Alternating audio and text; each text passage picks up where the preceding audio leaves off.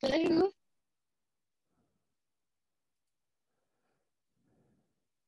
Howdy. Uh, do, do, do, do, do, do, do.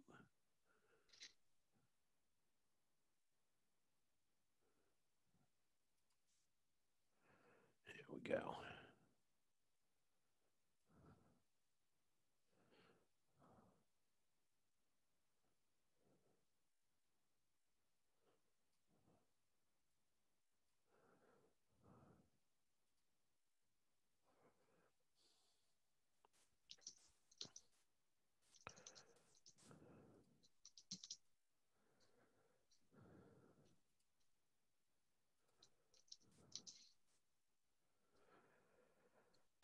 Hi, everyone.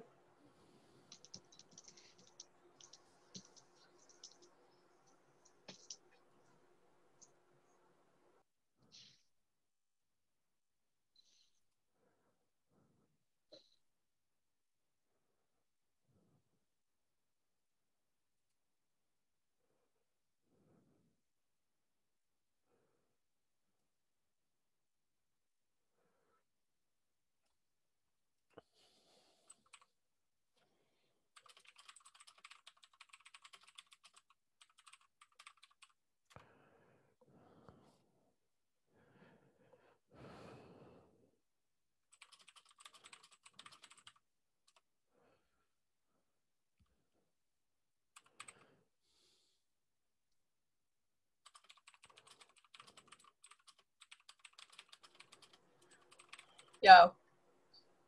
Josh, are you leading this thing today? Sure. sure. Can someone else take notes in that case? Yeah, I can help. Okay. Are you wearing a robe? Me? No, I'm wearing a hoodie. Ah, okay. Isn't a hoodie just There a really go. short robe? Maybe. Depends on whether or not it zips in the front.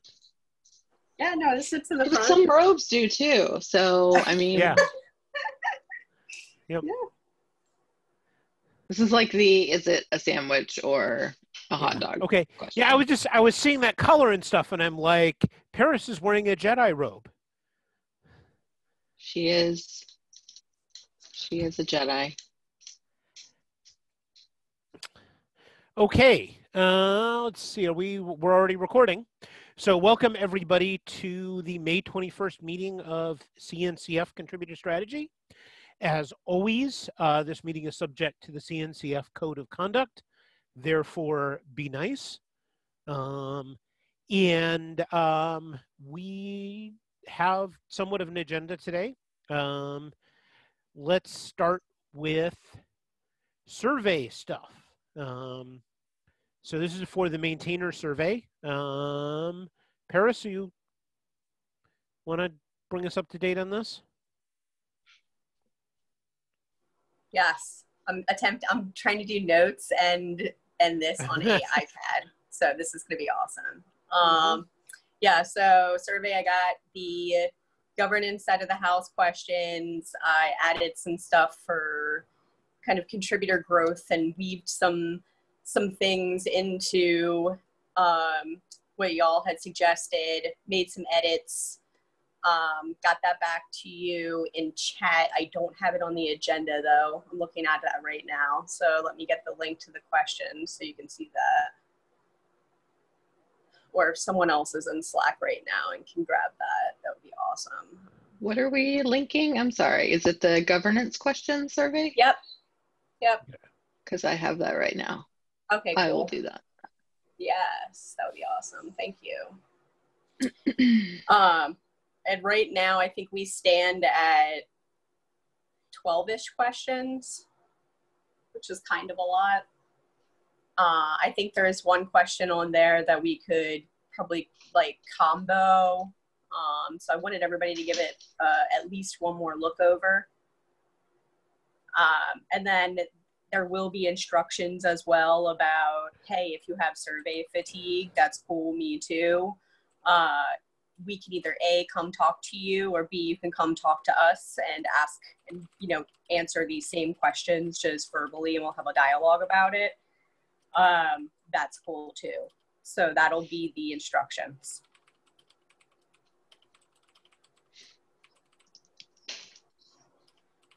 But it definitely needs uh, another it definitely needs another edit round um, but I think once we have an edit round on the survey and then also an edit round on the email to make sure that we're hitting all the points, because I think there's at least three points in the email that we're trying to hit home.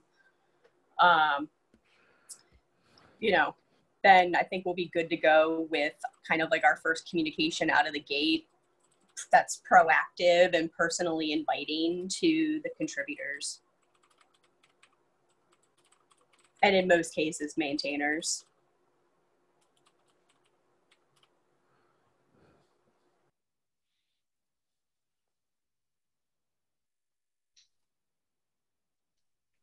Wait. I'm listening. I uh, was just also reading. Questions so, in the sorry.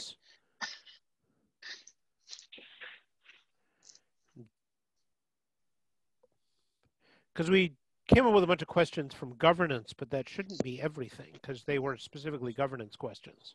Right. No, and I added I added um, some contributor growth and maintainery circle, not necessarily direct maintainery circle, but um, stuff that's related.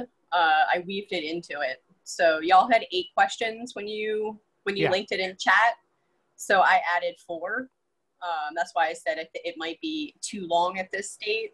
Um, maybe like one or two, not you know just one or two. Try to get it down to like you know, a no more than 10 minute survey because there now there are like I think two or three long questions. Um, but we can like put those at the bottom and reorder them in a way where it's not scary and it looks like the easy questions are first.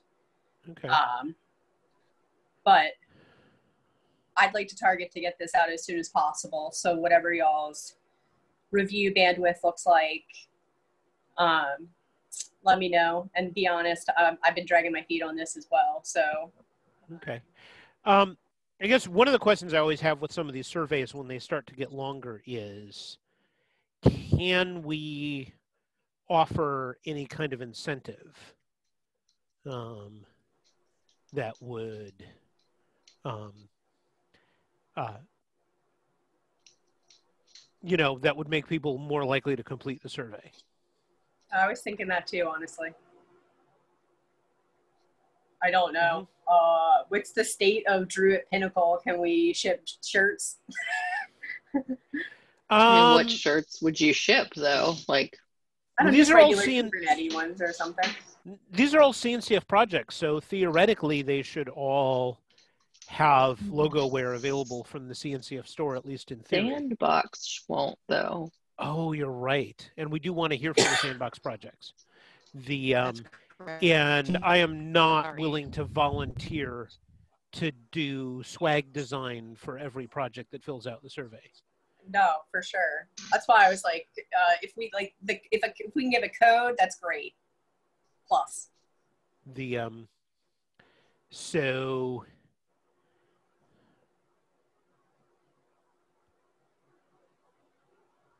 someone in chat wants to join the call. The one that's working on the uh, end user stuff, by the way. Sorry to derail.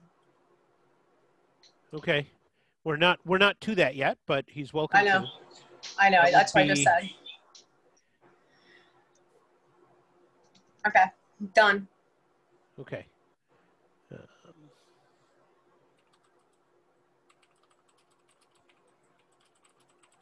I'll say that the biggest incentive actually is just knowing what we're going to do with the survey. Just short and sweet, saying how it's going to help people or not. Mhm. That matters more to me when I fill it out than anything else. I don't really want another T-shirt or stickers or anything. Yeah. I don't want to Yeah. like give someone my address. So I think if we're just brief and clear on how it's going to help people and they trust that we'll follow through, that means a lot more than anything else we do. Yeah. In that case, that's the tack we're taking, and I have not looked over this document since Paris added a bunch of questions, is we should really have several questions that allow maintainers to complain about the CNCF because that will get them to fill it out. I mean, it sounds terrible, but I'm willing to bet that it's true. No, Amy knows what you're talking about. So the other thing that I was thinking about too, though, is the method of delivery because, Mhm. um, you know, we know that there's like the Survey Monkey issue with meaning like it's, it might take forever to get that completed from LF side. I was thinking of what if we put these questions into like an issue template on our Yeah. repo, and then people can come in and just fill out an issue, and then it doesn't necessarily you know, or rather if they you know if they want to be anonymous then we can send them some other kind of form of sorts um, Um, and they can be anonymous that way. Let me stop you there, which is when we decide that we're done with the questions, I can produce a survey monkey survey in a couple of days, depending on my personal schedule. Well, i thought the problem is we had to use the linux foundation's Yes, we do. assets okay Yes, we do, but I but um, the um, I actually have access to that for producing a bunch of the Kubernetes surveys. So um, the um, the one the only delay sometimes is that there's a limited number of accounts, so a bunch of us swap off accounts. But but there would not No, be a huge delay in producing that.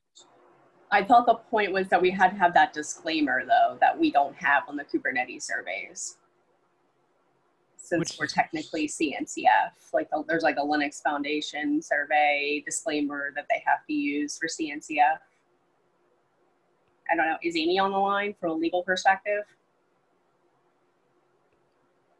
Not from a legal perspective, no. I am on the line. I was gonna say, I don't know that she's ready to take that on yet. Yes, Yeah.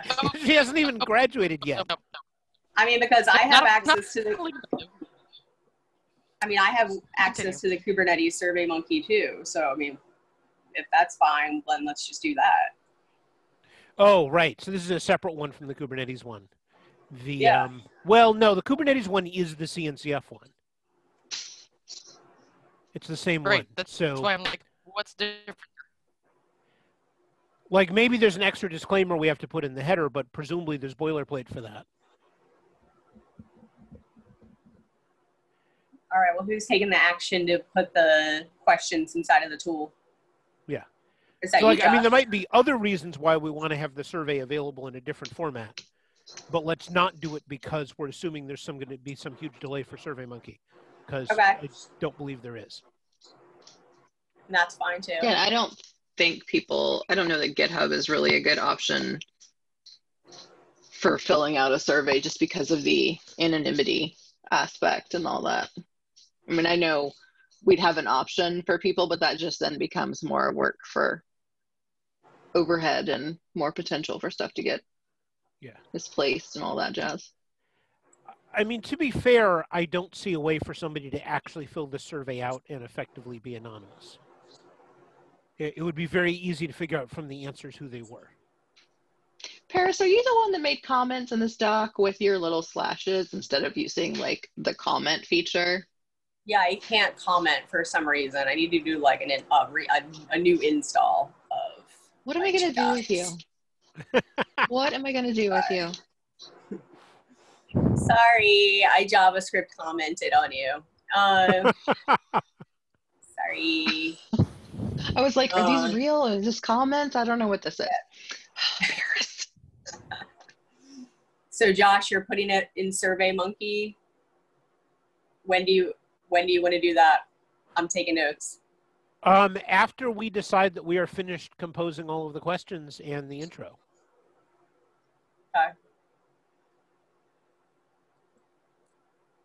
Yeah, I've made some suggestions on reworking some of the questions, like some of the stuff that you had, Paris, um, being kind of the long answer. Like you can actually make it a yes, no, and then have it be a yes, you know, if yes, please tell us more. And that also could remove some of the potential for fatigue because, to be frank, I think for a lot of those questions, you're not going to have a lot of people say yes. Um, so in actuality, it makes it a shorter survey.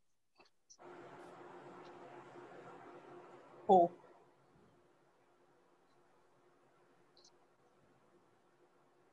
Well, I'm ready to send after edit after y'all Well, edit. I'm sure you want to look at. I'm No, sure you I want to look at my edits.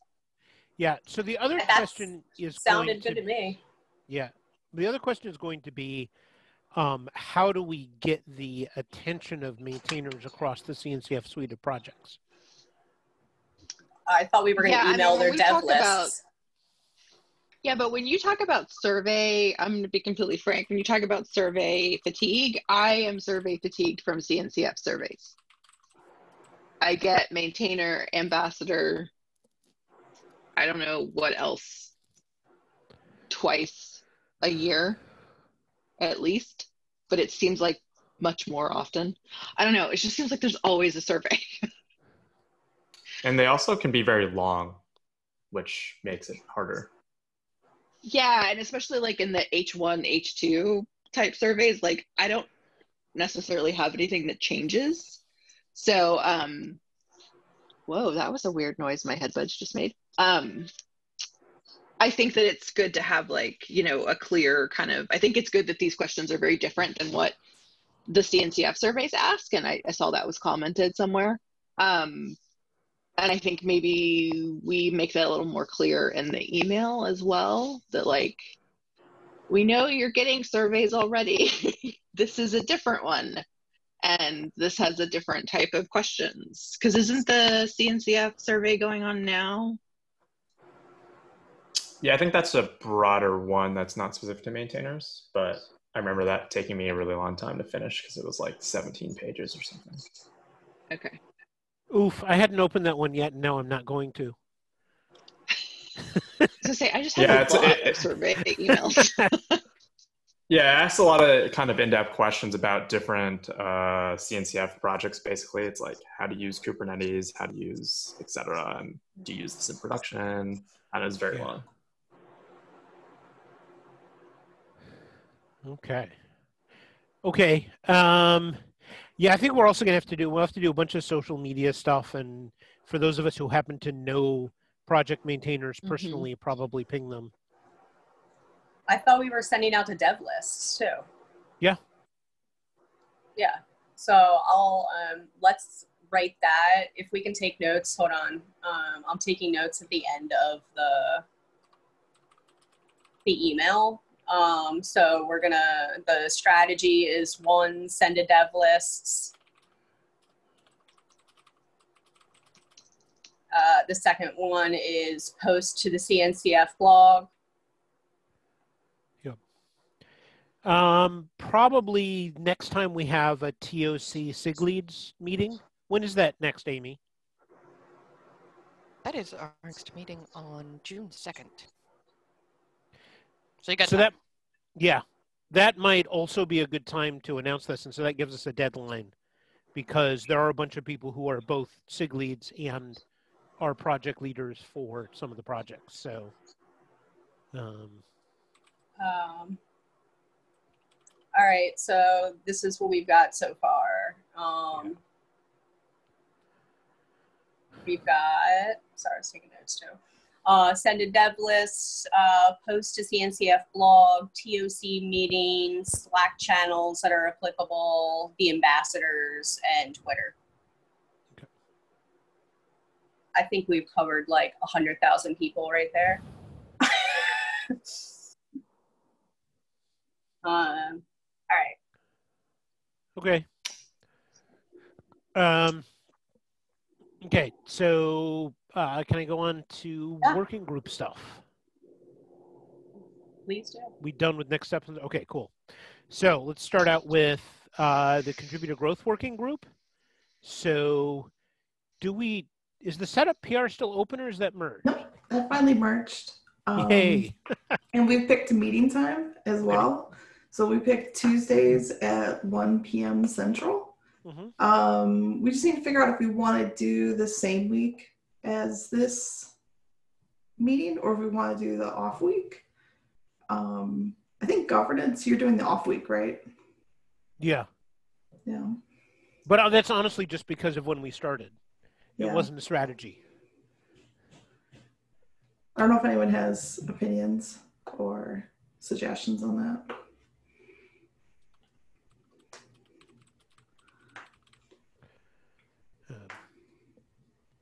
My dog has opinions, but I don't think they'd be valuable for this. So Yeah. No, Sorry. I would. I I say- I would- everything everything else being equal. So here's my suggestion for why you should do off week. Yeah, If you do off week, that means your first meeting can be next week. perfect, done.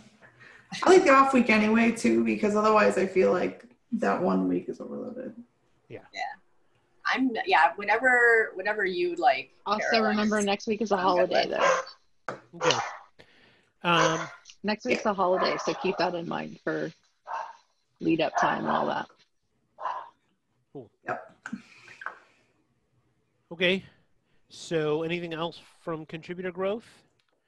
Uh, no, no. I think we just we just need to we need to like re-kick off. Okay. So I have a question for you, um, which which actually has to do with the repo, et cetera, which is um, both contributor growth and governance are going to be working on updating, expanding, clarifying the CNCF requirements at the various project levels. How do we want to set that up?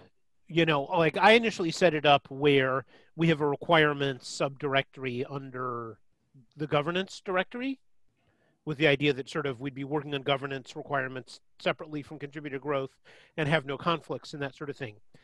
I'm starting to rethink that because now that we're actually getting in mucking about with some of the actual requirements, number one, the line between governance and contributor growth is not entirely clear. Um, because, for example, the diversity, the maintainer diversity requirement, there's a governance part of that which says, how do we define you must have, you know, external maintainers, right? But there's also contributor growth because, you know, it's like we can't just require this, we also need to explain how do you get external maintainers. Um, the um, Sounds so I'm like actually kind of answered your own wondering if if we want to have sort of a shared set of requirements documents, even though that'll be slightly less coordinated, it's more what we need in terms of output. I feel like we have a problem though with any of these things related to governance where we're always going to have a requirement and then a recommendation on how to meet that requirement. Mhm. And that requirement directory is going to get to become like a, a junk drawer if we shove everything in there. Let, me- let me know if people feel otherwise. I think it may be helpful if we reference people or like link people off to where we have best practices and, and uh, advice and templates on how to accomplish those things. Yes. And that's where we collaborate. Yeah. A lot of the stuff that contributor growth does, I think, will be in a templates and best practices section. In contribute, Um, right? And then, yeah, there will definitely be times where I think we all collaborate together on requirements and stuff, um, and vice versa. Honestly, um, But I mean, there are also requirements that are definitely in the wheelhouse of contributor growth. Like, for example, um, require like there are existing requirements around uh, contributor activity levels. Um, the um, you know, and and from our perspective, we have different working groups for these things. But from the perspective of the TOC, they want one set of requirements.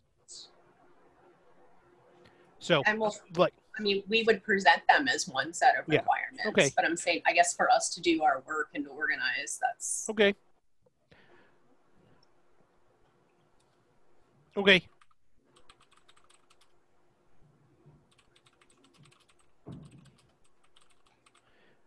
Okay, and that said, should I move on to governance work group, or is there anything else for contributor growth? No, sounds good. Okay. Governance work group. Um, I I got pulled into some uh, urgent discussions around the diversity requirement, uh, mainly because of one project, NATS, that meets other requirements for graduation, but the TOC does not feel meets the diversity requirement, or they're on the border about whether or not they meet the diversity requirement. Um, the um, that ended up being really complicated. Um, I will say that that is actually um, the special urgency for the diversity requirement has actually gone away because it turns out that NATS's situation is much more complicated than that. and and even if we straightened out diversity requirement issues tomorrow, it would not necessarily allow them to proceed.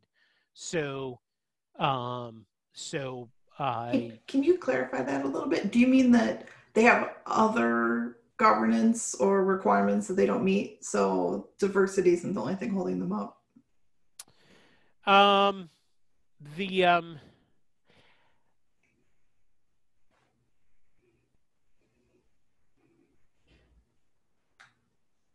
there's, I mean that they have. NATS was inducted as a project before the current set of requirements was passed by the TOC. Oh, okay. And as such, they actually have disagreements with the current set of requirements. Oh, based on when they joined. Um, so Wouldn't that be pretty much all projects though? I mean, yeah, but a lot of 'cause when projects did the new care. requirements get put in? Um, Well, yeah, I don't know, like like six eight months ago. I don't I don't remember exactly when it was. I mean, that applies Okay. to a bunch of projects, but a bunch of projects are fine with the current requirements. NATS is the first one I've run across that that is un, unhappy with it. I wonder GRPC if like is not really thrilled with it, but we just Mhm. haven't raised a stink Yeah, because it's not worth it, to be quite frank. I wonder if um I wonder if like when you enter the sandbox, like if your if like the requirements should lock at that date so that you know if there is changing TOCs and requirements change, then you're still held against what was determined at that point of entrance. It sounds like a logistical nightmare. um, I don't know. It's, Yeah. I guess kind of like the, the term grandfather, even though I don't like that Yeah. term at all. Um, yeah. Well, I mean, I, I get the spirit, but I also feel like the whole nature of the way CNCF is set up is like there's always going to be TOC changes and there's always going to be a different set of perspectives and then the world changes and everything else. And like, you know, it, Yeah. there's always going to be stuff that goes on and changes. Um, I mean, and grandfathering grandfathering creates technical debt. yeah. that you then carry for the rest of time. So the um um but that does mean Like, I don't think it's crazy to expect a project to evolve in the same way that CNCF evolves because cloud, cloud native landscape is evolving and all of that. So, Yeah, Yeah, I guess it's just a matter of like lead time and expectations too with that. Yeah, we just we have a couple of projects that join. I mean, one of the things that came up that they pointed out was in the early days of this of the CNCF, there were no specific requirements around um, around sort of multi-company contributions, except that you had to be open, and open was not defined.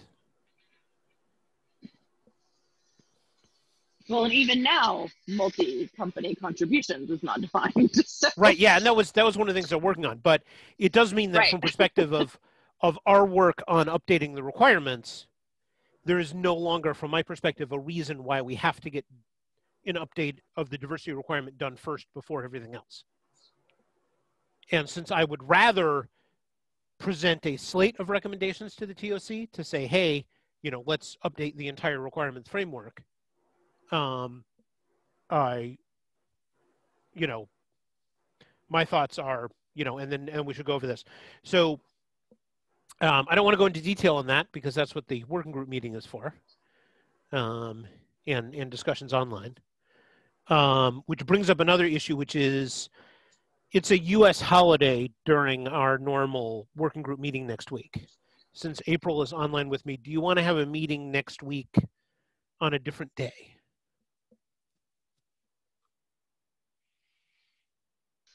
Um, I mean, Monday's fine. I'm out all week anyway. So, um, you know, it's fine with me if we do it Monday or a later day.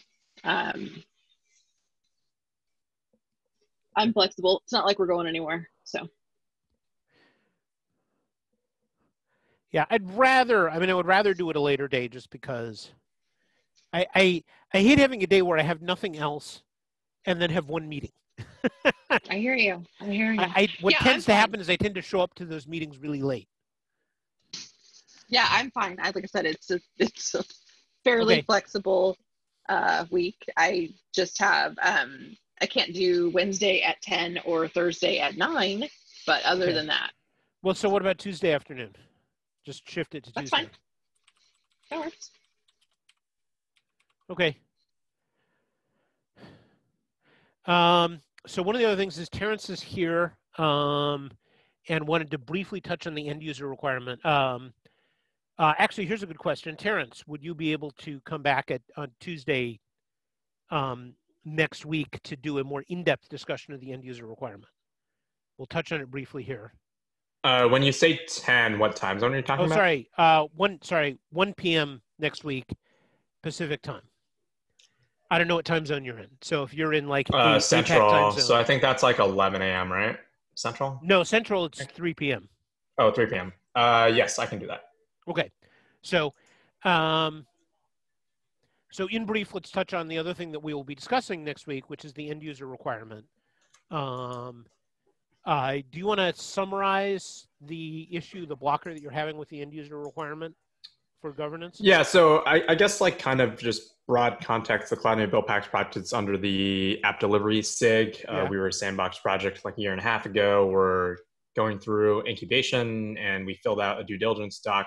Um, and there's questions of basically what end users mean for our project. So um, the project is mostly a specification, I guess, under like cloud events, um, where we define like a standard or a set of things of like how you can use build packs and the spec, and there's some tooling provided around that. But we ourselves aren't hosting any build packs, but um, uh, like a platform, uh, like most of the kind of companies that would are interested in our project tend to be like cloud vendors. So like uh, Google just announced support for uh, cloud native build packs and built a bunch of cloud native build packs on top of it, and you can use it with the Google Cloud Platform.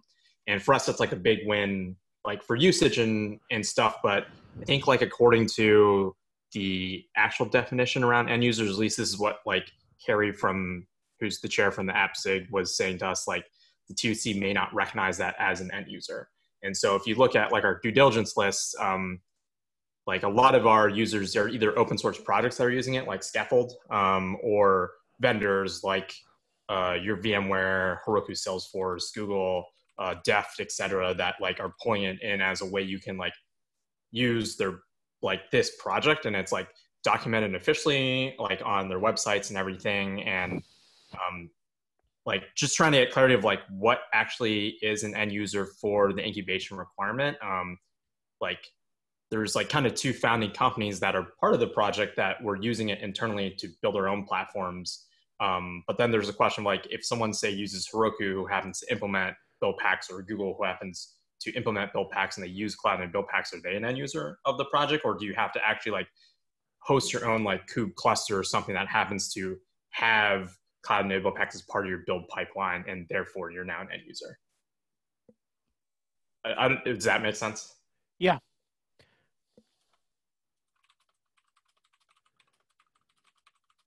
Okay. Yeah. So that opens a question. Um, and the um, okay. So I understand the question there, and so we'll follow up on next Tuesday discussing this um, and see if we can hammer out a recommendation to the TOC on how the requirement could either be modified or clarified. Okay. Um, and by the way, one of the other things, since this person isn't here, I'll do the online, is that the other, um, there was another project that this was brought up in the same context, oh, Cloud Events, who also felt they were in the same situation. Uh, I think they aren't they ready in incubation. Yeah, but the end user requirements get amped up for graduation. Uh, I see. Okay. The um, Yeah, they are also another similar because they are also like a specification with tooling around it. So I guess uh, our project is somewhat similar in that kind of scoping.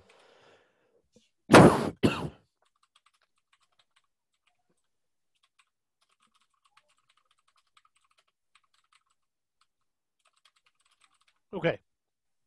So we will cover that in that context and see if there's something that we can recommend.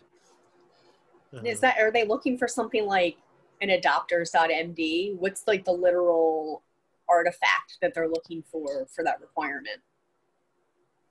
By for that pronoun, do you mean the TOC or the Yes, project yes, itself? yes, yes. Yeah, like in uh, the, the TOC when they're uh, when they're saying that uh, there's an end user requirement.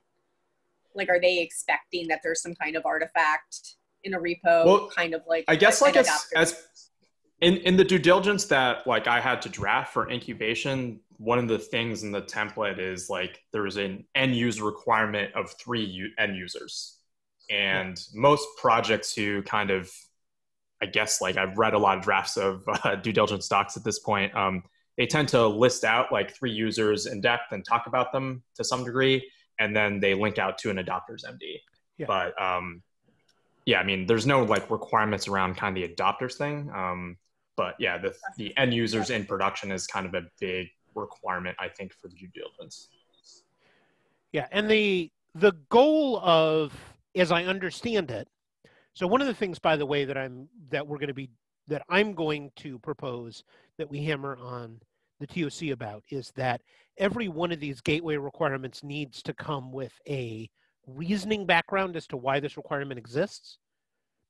Because, like, I believe the reason for the end user requirement is to show that this project is actually being used and isn't just a spec created by a vendor or a group of vendors that has no actual users.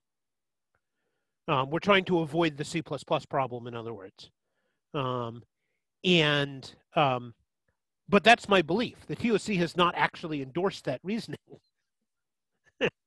so, um, and we need to get the TOC to say this is the rationale for this requirement because if we understand the rationale, then then the actual requirement about say who is an end user will become a lot clearer. Yeah, I think a lot of the stuff would be solved. Well, not necessarily solved, but like a good starting point, like you said, is like if the TOC can tell us what it is they're trying to actually get, like what their dream project looks like for each category, then we can, you know, better build out the requirement list. And then I think we also need to be clear on what a project gets by being in each category. Like, what's the incentive to graduate? The um, so okay. Um, so more about that next week. Um, uh, April, did we have anything else wanted to say about current work? And we set up the directories. I still need to set up a bunch of work in progress documents. Um, the, yeah, I um, think the, you know, the diversity thing was, like you said, the, uh, the fire. And it sounds Yeah. like, so the conversation that's happening around that, you, where is that happening? Um, it's, not now going to be GitHub happening. issue. Yeah, it's now happening actually, honestly, with Chris and the TOC. Basically, I had a conversation with NATS. I said, Contribstrat can't solve this because the project is not asking for governance help. The project is asking TOC to examine their policies, and that is strictly a TOC Mhm. matter. Um, so I basically have handed it back to the TOC and to the CNCF staff.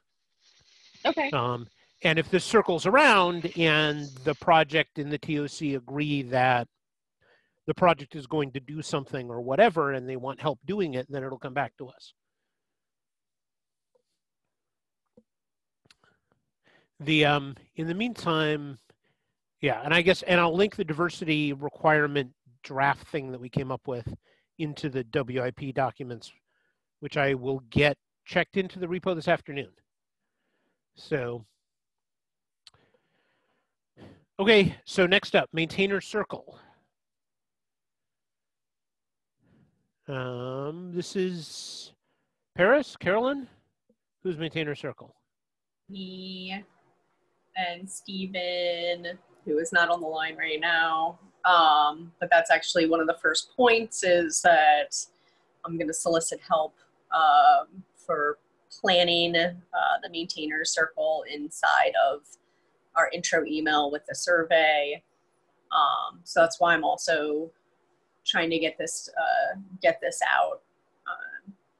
to folks quickly so we can get some help here. Um, I need to get the link for the PR that I just checked in, but this is the the README for the maintainer circle. Um, so I wanted to talk about how we can get this out of a proposed state uh, and into something more legit.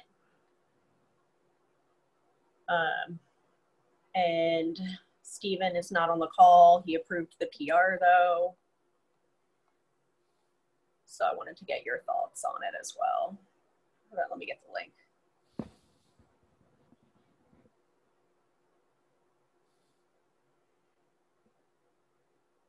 Um, while I get the link, uh, the, uh, one of the next steps too was to get a Slack channel going.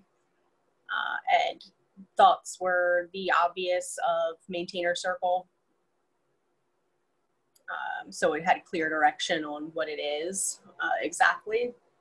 Uh, and if everybody's cool with that, uh, Ihor told me that I needed to submit a service desk ticket. So I can do that as well and I can take that action. Um, but I wanted to get everybody's take on what they think about getting the maintainer circle out of a proposed state. But I'm still trying to find the link. I don't know. It, it sounds like you need a co-lead for that who's not already on 17 other committees. Um, I know, and that's why I feel like part of the email is that uh, call for help um, because I've had a number of people come to me saying how excited they were about this. Not many of them said that they were willing to help. Um, but I'm here it is, maintainer circle. I've got it right here. Link. Copy.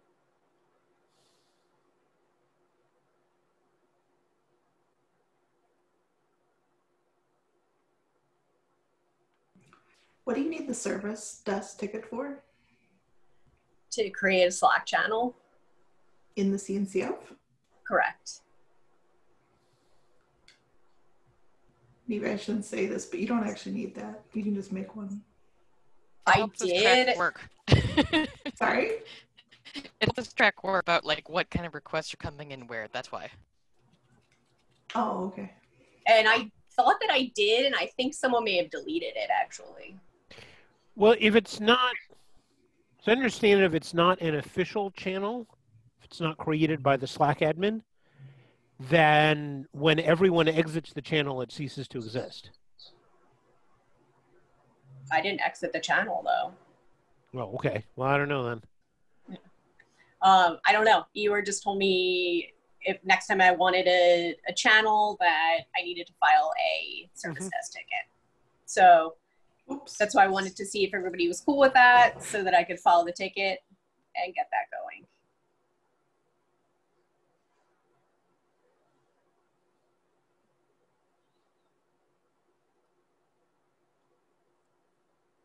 And that's really it for me.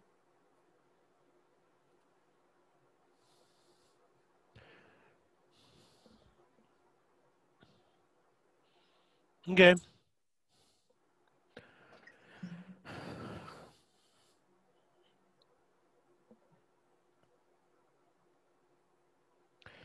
Okay, so we only have um, we have 15 minutes for open issue and PR review. Um, let me see if anything is urgent, and let me see if I can.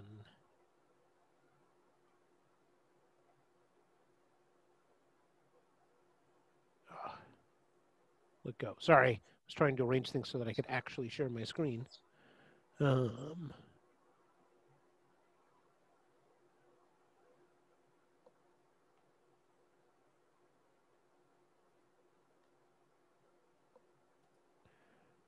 okay, are people seeing that?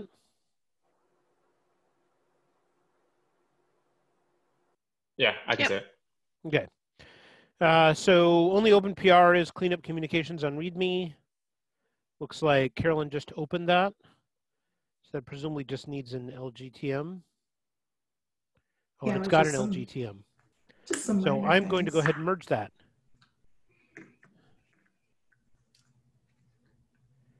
Because cleanup issues should not need more than one LGTM.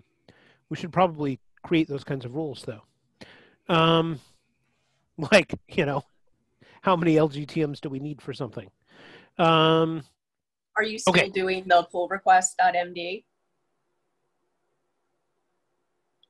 I had you down to yeah, do, yep, do that one. that is still on my to-do list. So yes. Okay.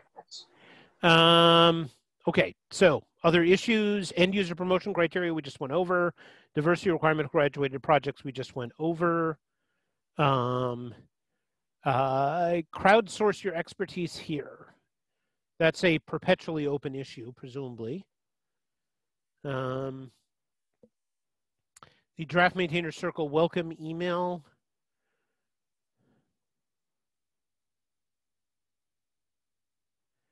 is the stuff we went over in the maintainer circle.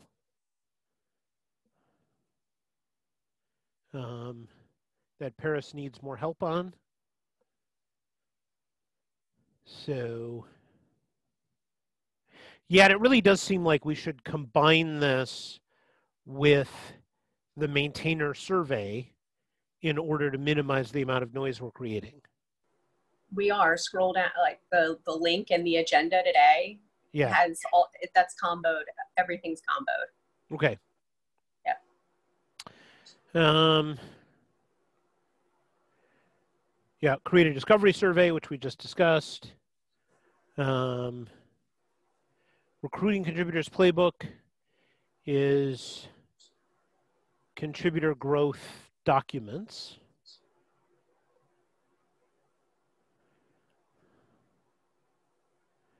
So, part of your work. Yeah, I think this is like a Pride two or one or something for our working group. Yeah, our working uh, governance working group is going to end up starting with requirements just because the TOC is asking for us to do requirements stuff. Um, the um, and I think probably resources are just going to start out with linking external resources unless someone else has a lot of time to write original stuff. Um, because, um, but contributor growth may be able to take the opposite tack. Um, so create a resources page. Is there a blocker on that? No, I'll take that today. Okay. I'll do it. Yeah, because it seems like you could create a blank resources page. Yes. Yep. Yeah. Yeah. Without yeah. much work, I'll take yeah. it. I'll, no, I and the reason why I have it, I think Ihor said that he was going to. Um, Okay. So I'll I'll do it today though. Oh, uh, let me close launch governance subproject because clearly that is Yay! launched. Um, the um, do, do, do, do, do.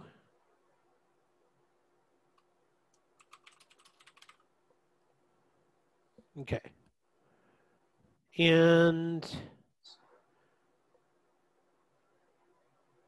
okay, contribstrat GitHub management. Are there trailing issues for this? We created users. We've created. Oh, right, because this was sort of open. Is whether or not we're going to have.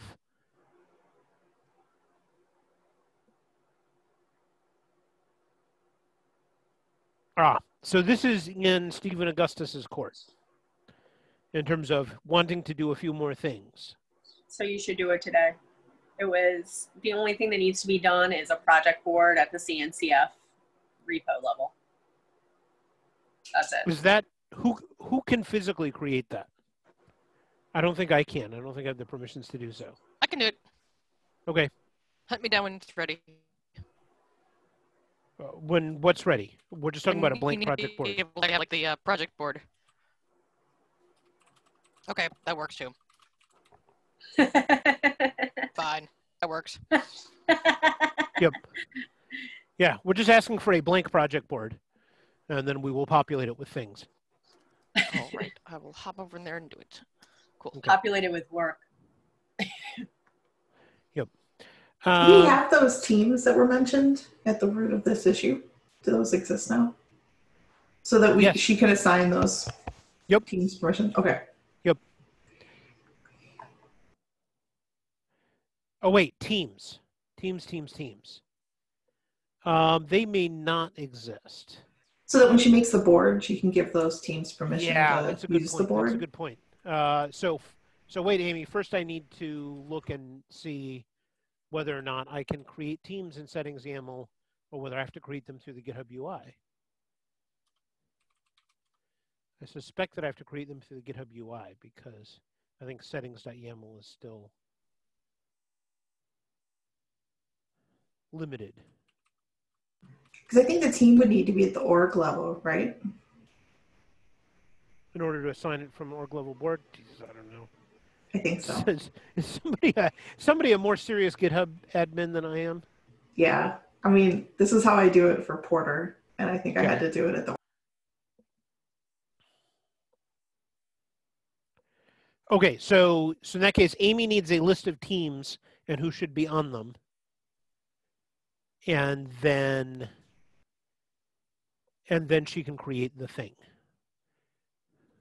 So let me update that.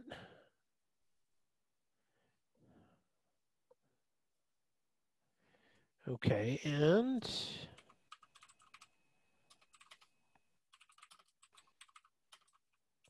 The board and the team are created.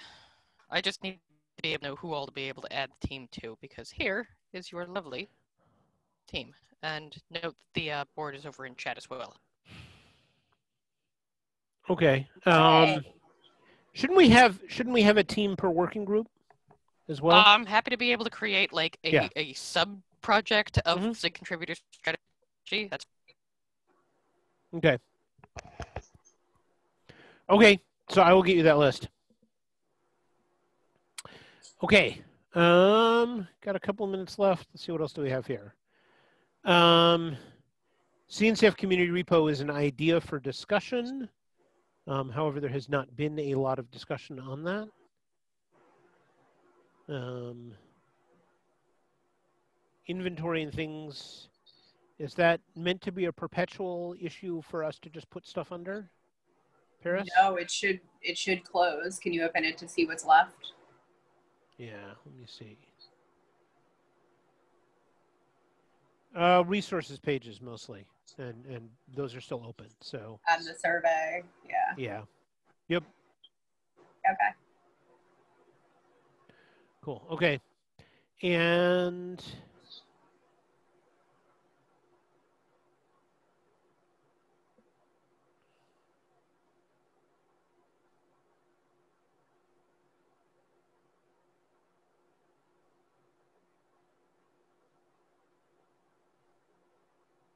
So the sort of conclusion was that the CNCF actually already has a quote unquote community repo, which is called CNCF slash contribute.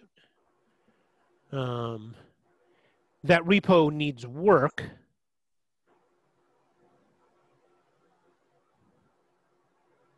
I think if you go to the very last comment on that issue, it's more representative of what needs to happen next.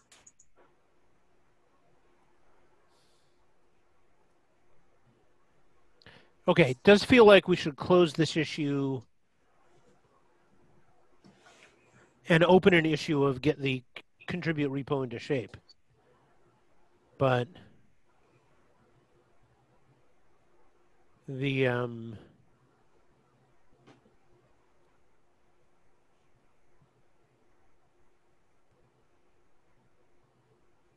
Okay, I don't understand Paris's last comment there. So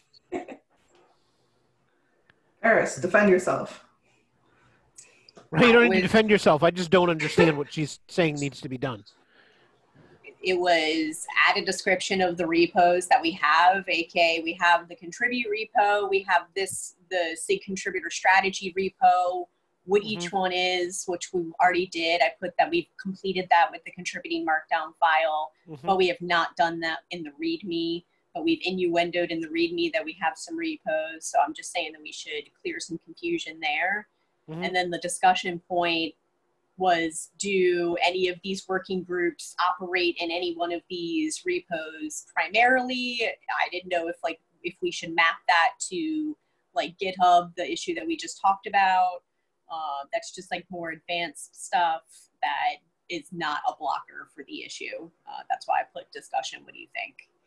Um, but the one thing that I do think is we just need to update the README um, with some of Yeah. that just minor information. Okay, so link out and that sort of thing.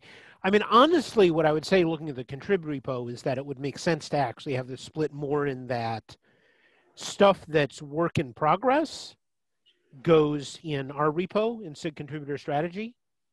And when something is going to be published, we copy it, we copy the published version to the contribute repo. And that's how we have I don't know it if that's listed. complicated, but As long as we can make sure that the people who have contributed that work still keep their attribution, I think that's a good idea. yeah, because Yeah, someone we who lost her contributions, seeing stuff get copied around in the Kubernetes repo, yeah. you know. Yeah, and obviously it would be easier to have branches in the contribute repo. Um, you know, feature branches because then you can just merge stuff. Yeah. Um, the um, so if we did that, then the SIG contributor strategy repo would become largely a, a skeleton. You know, as in these are the work what we're working on, but the actual work would be done elsewhere.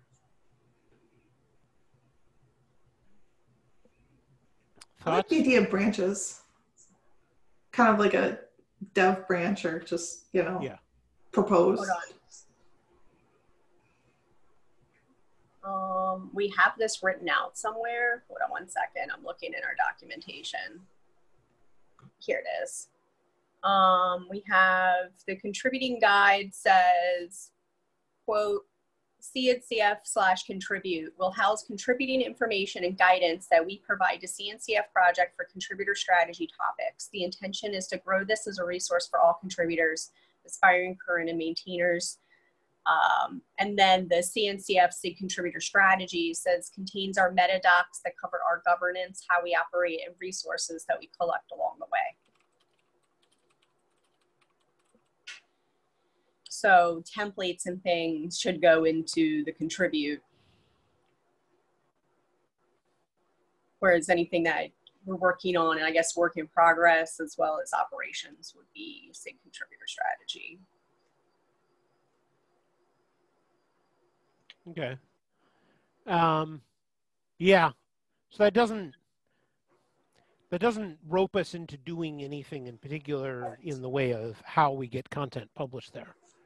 Um, so kind of feels. I mean,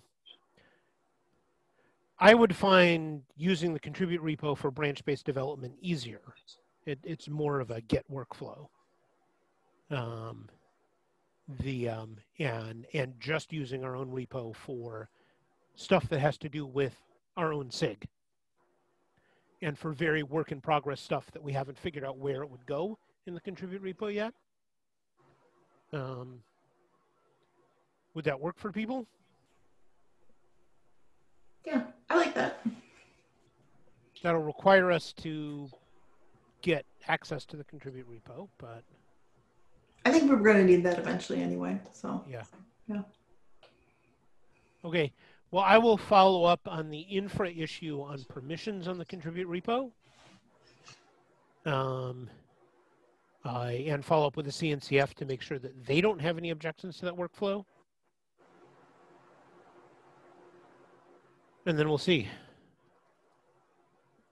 So let me create, I will create an issue for myself. So let's put that in notes as an action item.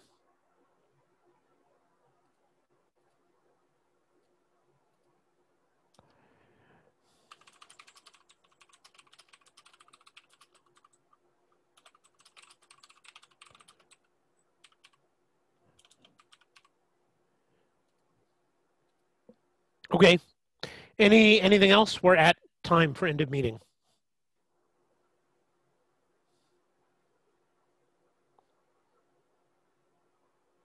Okay. Well, thanks everybody. Happy quarantining. Bye all.